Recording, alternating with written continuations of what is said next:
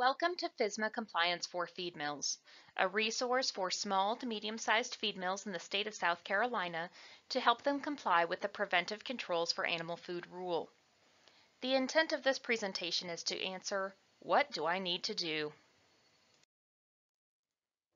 Like we described in the last video, feed and ingredient manufacturers have three primary requirements in the Preventive Controls for Animal Food Rule of the Food Safety Modernization Act.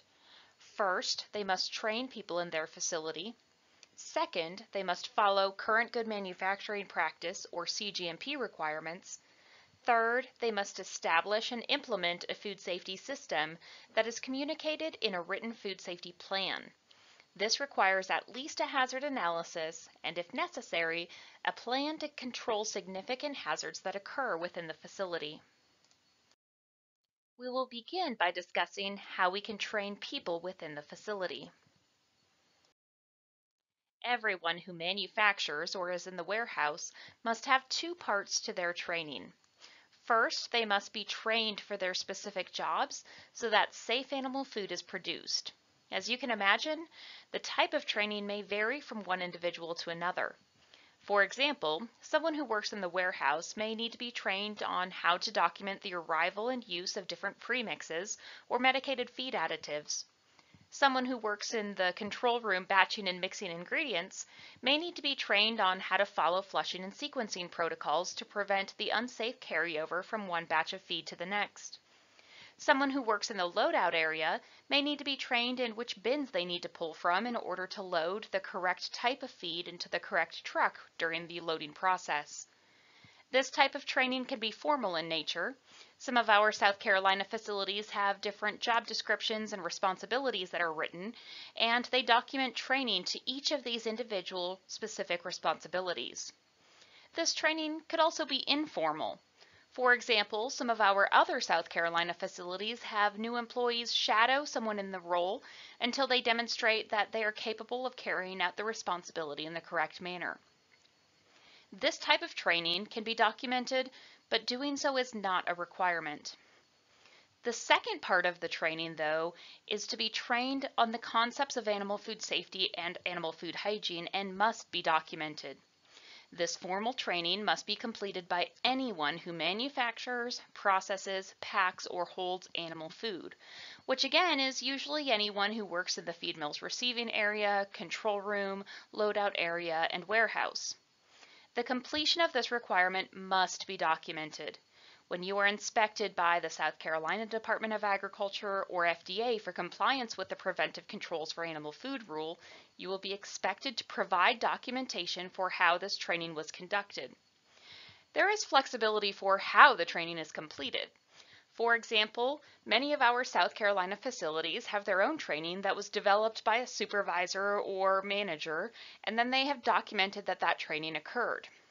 More commonly, this training requirement is completed by having individuals watch a video that was developed by a trade association or an educational institution on animal food hygiene and animal food safety, and then the facility documents that training. One free option is to have individuals watch the YouTube video at this link, which was developed by Kansas State University. You can then document this training. And the documentation can be pretty simple. Just the name of the individual who watched the training, the date that they completed it, and the initials of the supervisor who oversaw its completion. Another level of training that may be appropriate for facilities is to identify a Preventive Controls Qualified Individual, or a PCQI. This is actually a requirement for most of our South Carolina facilities. In the few facilities that are exempt due to size or the types of activities being conducted, it is still beneficial to have someone designated as being responsible for animal food safety.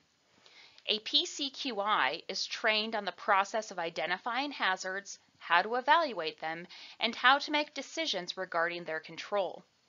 There is a specific training course that was developed by the Food Safety Preventive Controls Alliance where you can earn a certificate like this one displayed. Many land-grant institutions, universities, and trade associations offer this type of training class for a small fee. Attending this course is not the only way to become a PCQI, but it is the most common that we see in the industry. Once individuals within the facility are trained, the facility must also follow current good manufacturing practice or CGMP requirements. These establish the baseline standard for how the facility looks and operates so that safe animal food can be manufactured.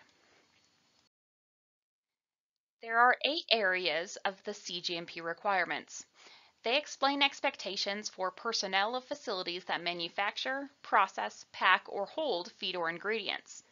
They address expectations for the plant and grounds regarding drainage, pest control, and trash, so that the plant and grounds is not an environment for pests. There are requirements for sanitation, water supply and plumbing, equipment and utensils, and plant operations. There are also requirements for the holding and distribution for feed and ingredients, as well as for human food byproducts intended to be used as animal food, such as wheat midds. The most common violation of CGMP requirements are regarding management's control of the facility. For example, if a facility has written procedures that it will do one thing, but it's not being done, or there's no documentation of it being done, that violation falls on the shoulders of management. Facilities are also sometimes cited for problems in pest control or sanitation. One way you may want to establish if there are gaps in your facility's current good manufacturing practice requirements is to conduct a CGMP self-audit. The South Carolina Department of Agriculture has a preventive control for animal food readiness audit, which is available to feed or ingredient manufacturers to download for free and use as a self-audit in their facilities. Finally, facilities must establish and implement a food safety system. This is commonly communicated in a written food safety plan and, at a minimum, has a hazard analysis. The food safety plan has two required components. The first, the hazard analysis, identifies hazards that have the possibility of occurring in raw materials or ingredients, such as aflatoxin if the facility is using corn. The hazard analysis also identifies hazards that may occur during the process itself, such as metal that may occur in finished product if the manufacturing facility uses equipment that has moving metal parts. These hazards must be evaluated for both severity and probability. If the combination of their severity and probability is high, the hazard may require a preventive control. In this case, the description of the preventive control, its management components, and a recall plan are also then required. If you have additional questions regarding the Food Safety Modernization Act or the Preventive Controls for Animal Food Rule, please reach out to us at the South Carolina Department of Agriculture. Our contact information is listed here.